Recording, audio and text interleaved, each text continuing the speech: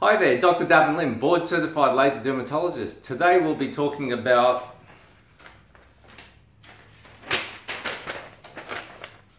this vitamin A. This is the most commonly requested question which I've got asked on YouTube over the last few weeks. Can we talk more about retinols and retinoic acid? So here I am debunking some myths about um, retinoids. Today we'll be covering what retinoids are, what vitamin A is, the different types of vitamin A, how they work, what application they can be used for, and how to use them properly. Once again, guys, there's a lot of marketing out there, and um, I'm just trying to help you guys debunk some myths.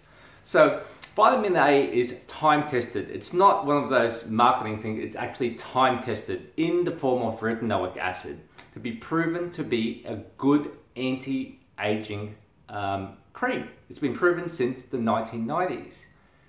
But did you know it was all by accident? Um, vitamin A creams were developed for actually treating acne. That's right, treating acne. And how does it work for treating acne? Basically, decreases inflammation, decreases oil production, improves your keratinocytes, or basically your uh, cell turnover, and um, and also kills P. acnes, which is the bacteria. Okay, so that's how it works for acne. And in the 1990s, when they were doing trials on patients um, with acne, they found that, hey, you know what, putting this vitamin A for, for treating acne, suddenly their wrinkles started to reduce. And hence, um, the whole spawn of what you see now as the retinoid spawn, or vitamin A's retinoid retinoic acids.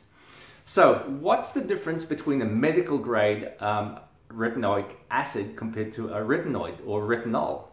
First of all, retinols can easily be, be bought over the counter. So you can see every single um, industry or every single brand will have their form of retinol or retinoic acid. In most cases, it'll be a retinoic um, or a retinol, sorry, because a retinol it gets converted to retinoic acid. So in reality, retinol goes um, into your skin and gets absorbed and through an enzymic process gets converted uh, maybe 5 to 10% to retinoic acid, which is the active ingredient. So companies like Obagi, Aspect Doctor, um, all the big companies make them. Neutrogena makes them, uh, everyone makes them, and they make them as retinol. So they start off at 0.5 and go all the way up to some of them 2.0. Okay, now that is um, over the counter retinol. That has to be converted. So what does retinoic acid do? Retinoic acid does four main things and we call it the four P's. Okay, number one, it reduces uh, pimples. Number two, it reduces pore sizing. Number three, it can reduce pigmentation. Um, and number four, powerful anti-aging. And how that works is not only by exfoliation of your skin, but by stimulating collagen.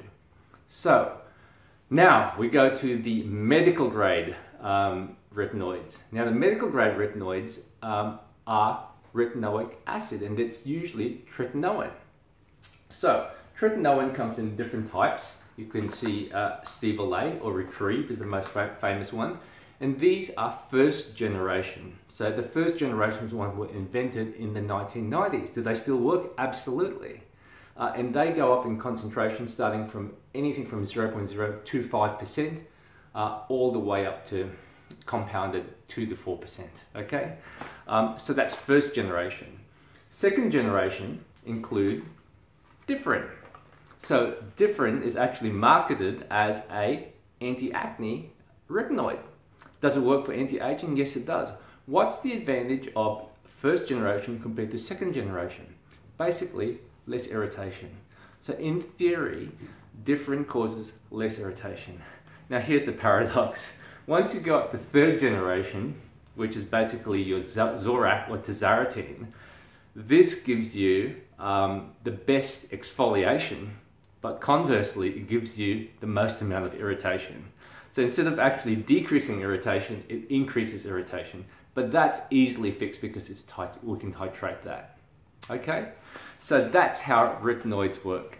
They work by actually stimulating collagen. They work by exfoliation. Um, what are the minuses? Well, number one, if a retinoid is going to work, it's going to cause some drying of your skin, okay, because it exfoliates the top part of your skin. Uh, people say, hey, it makes the skin thinner. No, that is a rumor. It actually makes the skin thicker.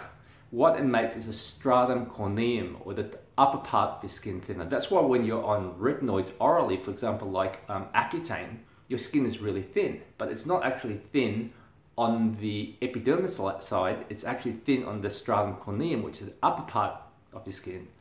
But it plumps up your collagen and it plumps up um, your epidermis, so it makes it thicker and hence less wrinkles. So that's how it works by stimulating collagen production.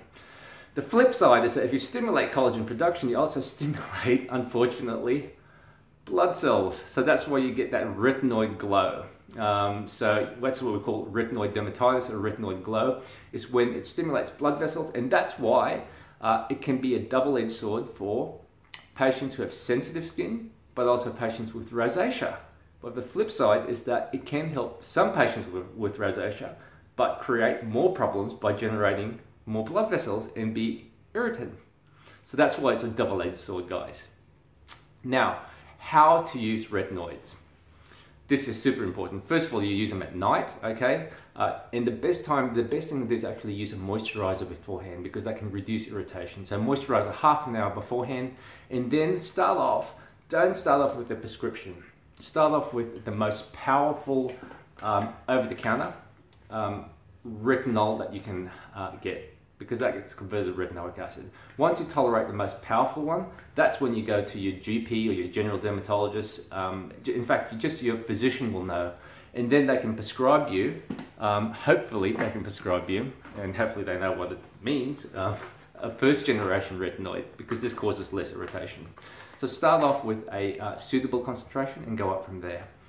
And then after that, you can start mixing your retinoids I do this. Uh, the reason behind it is logical. If, if, if, you guys want to go into the real science of it, uh, retinoids bind on different receptors. They're called RAR or retinoid um, activating receptors. in the different types, there's gamma, uh, beta, alpha, and all these different types of receptors. And they create um, uh, DNA transcription and as a result uh, provide collagen. So in the long, to cut it short, basically that's how it works.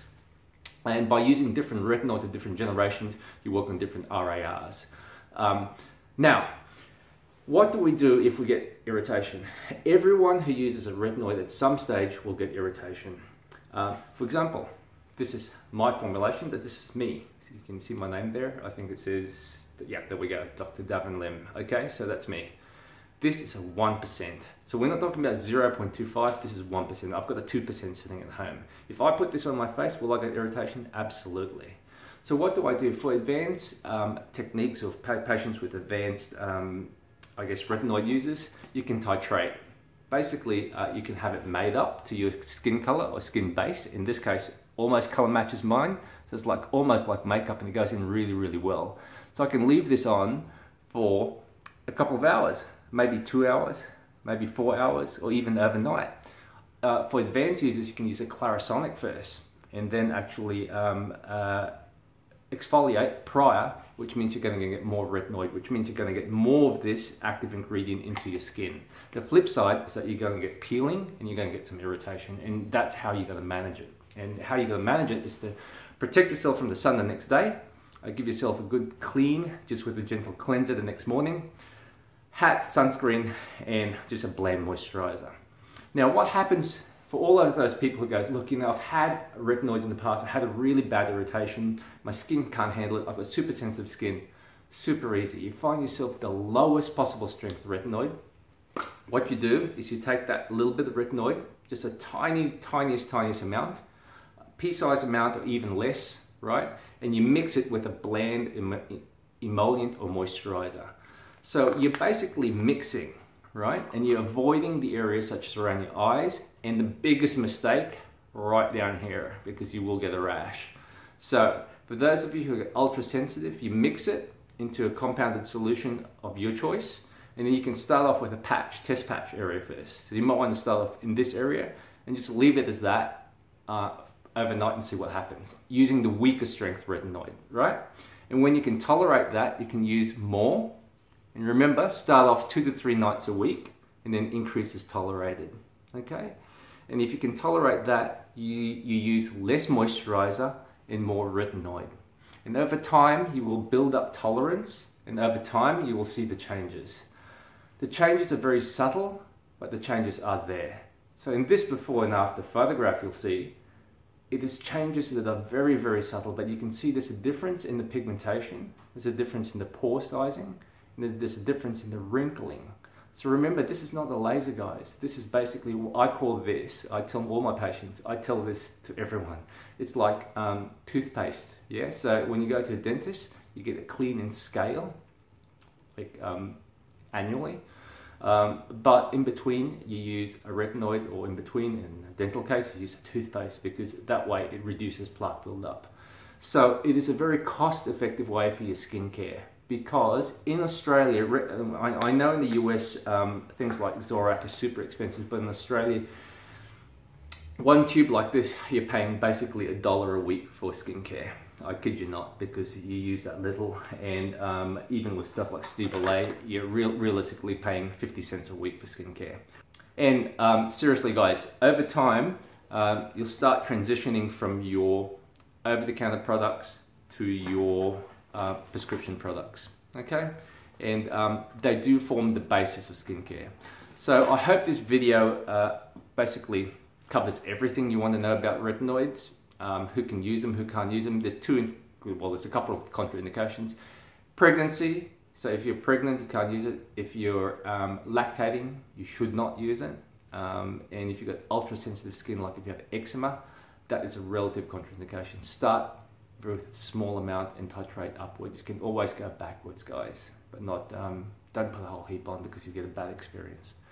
So, in summary, vitamin A, that is the basis of skincare apart from sunscreen. So, if you're looking at active ingredients which actually work, that are time tested and proven since the 1990s, that is where you start. Guys, thank you very much for watching this video. Um, I hope to see you next week. Uh, I keep on saying I'm going to do a laser video. I will, but I've got to let my face settle down because it's been eight weeks since my um, laser treatment. And I'll show you the before and afters because it does take eight weeks before collagen starts stimulating. So remember, even when you're using a retinoid, don't expect changes in a week, one, one week, two weeks. Take a photograph, a baseline photograph, have a look at it three months later, and that's when you'll notice the changes. Guys, thanks once again. I'll see you next week. Remember, please subscribe if you like this. I will give you one hopefully educational, possibly entertaining video every um, Saturday morning Brisbane time. Catch you next week. Bye. Ah, shucks. Since I'm doing this video and I've got retinoids on my face, I'm just going to do my monthly retinoic acid peel. Uh, I know I'm going to be peeling. I'll be right by next week for consulting. But no sun for me over the weekend. Um, it's lots of hats and sunscreen and lots of moisturizer, so retinoids. Bye.